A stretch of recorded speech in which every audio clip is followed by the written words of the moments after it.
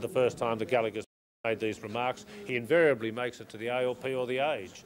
He probably makes it to the ABC. Are you concerned, though, that the continuing controversy about the tender process could damage? No, I think most people uh, look out at this state today and they feel much more comfortable, much more confident than they did uh, three and a half years ago. There's about another 140,000 people employed.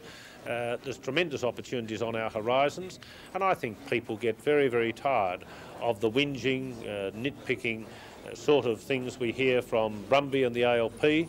We also see it with the ABC in a lot of their programs. Next Monday night, they're going to do uh, a Four Corners on the casino.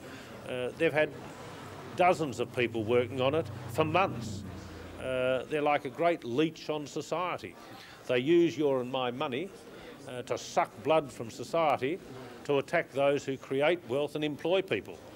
The real test for the people at the ABC is would anyone ever employ them outside of the ABC or would anyone actually ever uh, see them in an environment where they had to invest their own money to make a dollar?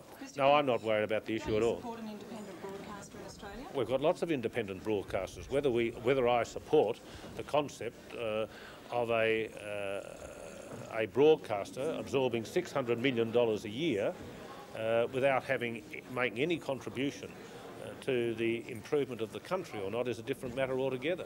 If I had my way, I'd close it down.